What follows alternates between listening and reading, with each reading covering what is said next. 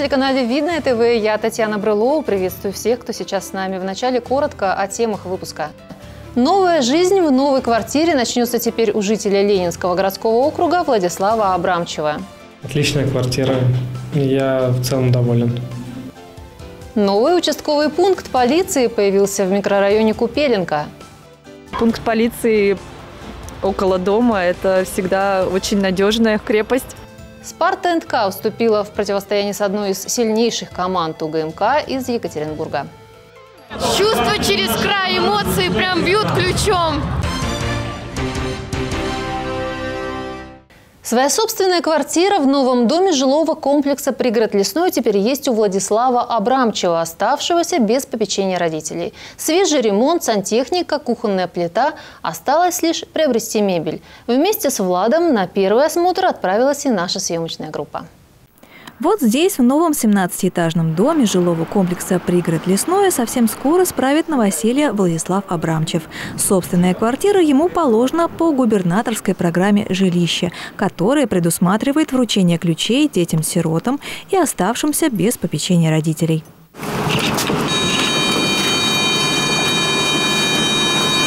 Влад воспитывался в приемной семье. С 18 лет стал жить отдельно в доме приемных родителей в Картино. И вот теперь у него появилась собственная жилплощадь. Квартира общей площадью 36,6 квадратных метров довольно просторная. Светлая комната и кухня, большая ванна, есть даже гардеробная.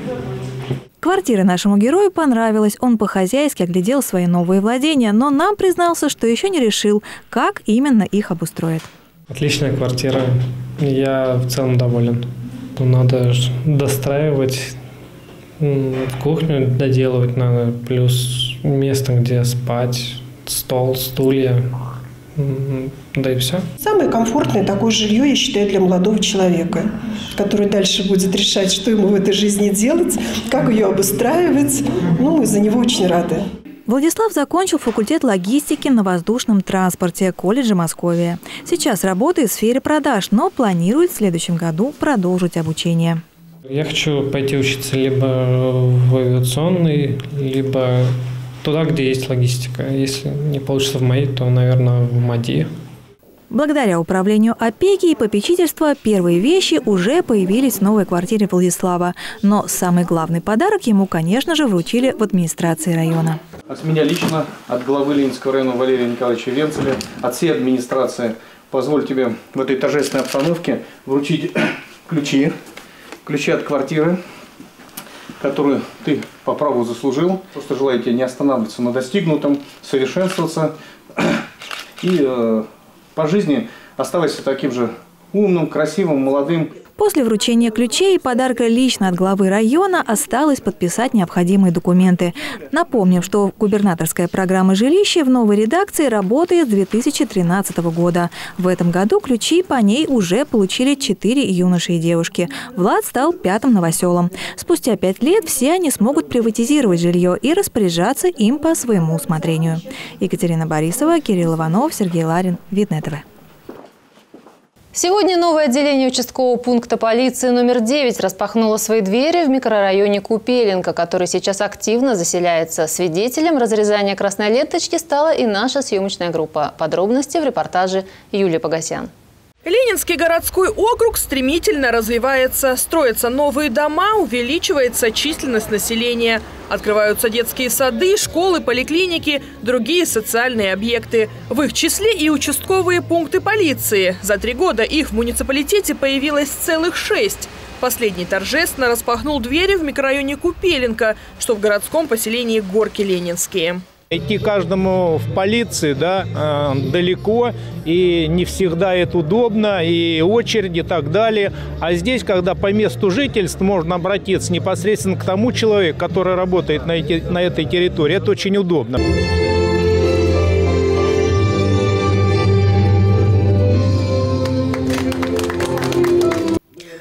Участковый пункт расположился по адресу Северный квартал, дом 22. Помещение выделил застройщик. Он же его отремонтировал и оснастил всем необходимым. Два стола, за которыми предстоит работать двум участковым полицейским, компьютер, принтер. Есть и удобства для личного комфорта сотрудников внутренних дел. Санузел, холодильник, кулер.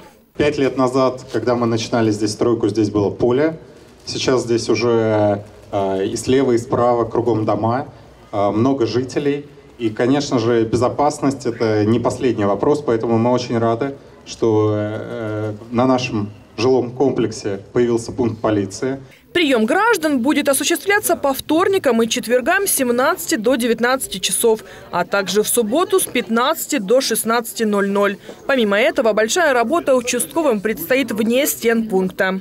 Будет участковый осуществлять подворный обход, ну, то есть по квартирной, да, будет знакомиться с людьми, осуществ... ну, оставлять свои визитные карточки, где конкретно будет написан его телефон рабочий, на который можно будет всегда позвонить, проконсультироваться и э, записаться на прием, и уже прийти и подать какое-либо заявление. Местные жители уверены, с появлением участкового пункта полиции мелких правонарушений, которые чаще всего случаются в жилых районах, теперь станет меньше, и жить в микрорайоне будет спокойнее. Безопасность детей, безопасность э, наших родственников. Конечно, пункт полиции около дома – это всегда очень надежная крепость. Депутат Совета депутатов городского поселения Горки Ленинский Артур Григорян это событие назвал настоящим праздником для жителей Купелинки. Я очень благодарен и застройщику, который это построил, и администрации, э, и полиции, то, что это реализовали.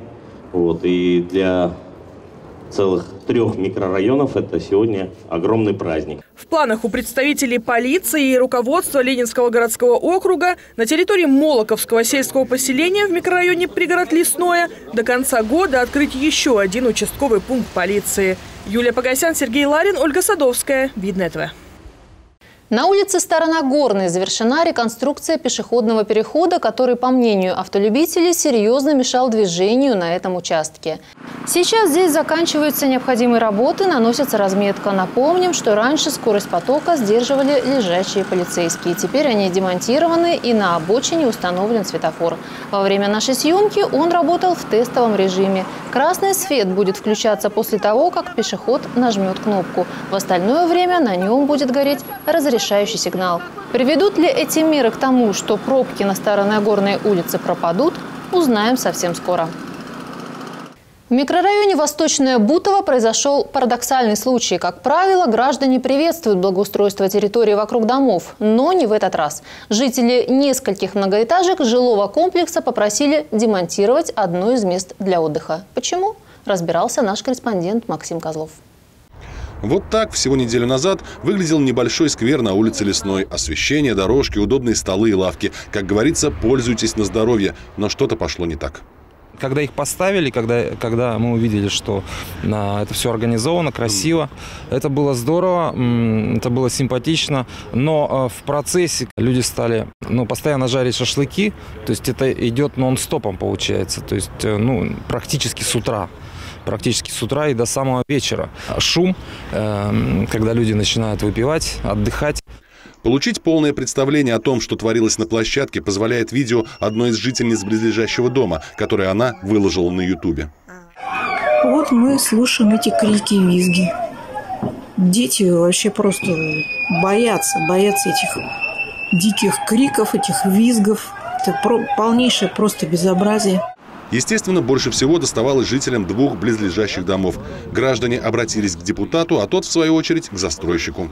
Этот сквер стал логичным продолжением облагороженного бульвара, который протянулся через весь микрорайон. Рядом с ним расположена площадка для выгула собак, и хотя мохнатые питомцы тоже бывают довольно голосисты, к ним у местных жителей претензий нет. Получается, в нашем случае животные оказались интеллигентнее людей. На благоустройство этой территории были потрачены немалые деньги, а потому сносить все подчастую не стали. Мы подумали с представителем застройщика, нашли Соломоново решение, демонтировали данные здесь столики и столы для того, чтобы, ну, во всяком случае, постараться оградить возможность большого скопления здесь вот э, такого рода невоспитанных граждан, которым абсолютно все равно на проживающих рядом людей. Казалось бы, только столы и лавки убрали, но местные жители уже, что называется, почувствовали разницу. Здесь постоянно народ был, постоянно распитие спиртных, постоянно шум, гам, а не считая днем. Это все также ночью происходило. Виден эффект, то, что меньше уже народу приходит, и драк нету из-за места, и еще что-то. Хотелось бы сказать а, спасибо депутату, который, а, Валерий Черников, который отреагировал на наше обращение, отреагировал и не просто, а действиями. Это очень приятно, ну и мы все это ценим. Конечно, жарить шашлык перед лесной полосой местные жители не перестанут, но безобразие и беспокойство для граждан станет на порядок меньше. Максим Козлов, Кирилл Иванов, Сергей Ларин, Елена Кошлева. Видное ТВ. Спортсменки-красавицы к игре готовы. Во Дворце спорта «Видное» в рамках чемпионата России прошла домашняя встреча между командой «Спартенко» и баскетболистками из Екатеринбурга. Тему продолжит Екатерина Коваленко.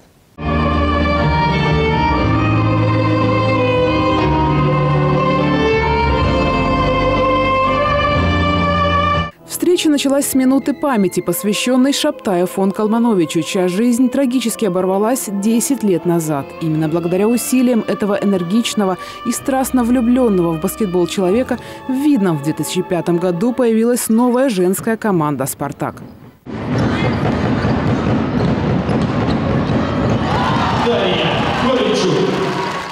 Уже с первых комбинаций на паркете стало понятно, борьба предстоит упорная и сложная, ведь за мяч с нашими спортсменками сражались опытнейшие титулованные баскетболистки из Уральского УГМК. По таблице нам бороться не за что с ним. Конечно, они, они лидеры, и никто не рассчитывает, что мы выиграем. Но мы должны показывать свой уровень, и мы не можем проваливаться. Самое важное – показывать стабильность. Им нужно просто расслабиться, поверить в себя и делать ту работу, которую они могут. А они могут. На тренировках они это делают, и сильным соперником это делают. Стартовые 15 минут команды шли вровень. Спартанки ярко конкурировали с чемпионками России и 9 раз табло фиксировало одинаковый счет. И хотя к середине следующего отрезка екатеринбурженки ушли вперед, наши спортсменки не сдавались. В наших, конечно, но точно сократить счет. И я надеюсь, что будет борьба, потому что в наших силах главное защищаться. Конечно, на стороне «Спарта» НК были болельщики. Встреча проходила при горячей поддержке родных трибун. Чувства через край, эмоции прям бьют ключом. Обожаю баскетбол. Мы выиграем победу. Я надеюсь на это, я искренне верю. Мы болеем от всей души за свою команду, надеемся, что они все-таки победят. Отличная игра, но, конечно, тяжело. С Спартанком против Грайнера очень тяжело. Э, кольцо проигрываем, она подбирает, забивает достаточно легкие мячи, поэтому преимущество, я думаю, из-за этого. Мне кажется, просто результативность при попадании в кольцо очень так скажем, захромало второй четверти. Если будем забивать все свои, то, я думаю, игра вернется. Но спортивная удача оказалась не на нашей стороне. Вторая половина встречи прошла под диктовку баскетболисток из УГМК. И все же видновчанки не опускали руки и в конце матча сделали серию точных дальних бросков, наколотив в кольцо соперниц целых 36 очков. Однако этого оказалось недостаточно для возрождения интриги. Итоговый счет, увы, 76-92. Екатерина Коваленко, Сергей Ларин. Видное ТВ. Погода в нынешнем году преподносит нам любопытные сюрпризы. Времена года не похожи сами на себя. Холодное лето сменилось теплой осенью, а к началу привычной нам зимы вдруг случилось бабье лето. Какого в ноябре не было за всю историю метеонаблюдений. Ну о погоде мы расскажем чуть позже, а сначала заглянем в один из детских садов. Там, как и во всех других дошкольных учреждениях муниципалитета, в эти дни проходят праздники прощания с осенью. Традиционно, несмотря на аномалии погоды.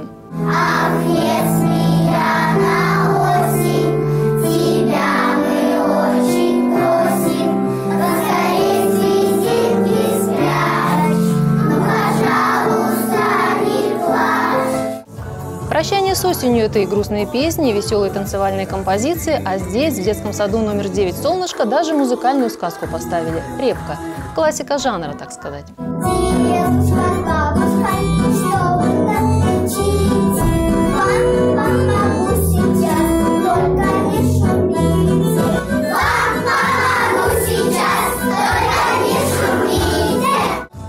Детский сад – это место и время, где и когда рождаются таланты. И у нас на этом все. Всего вам самого доброго и до встречи.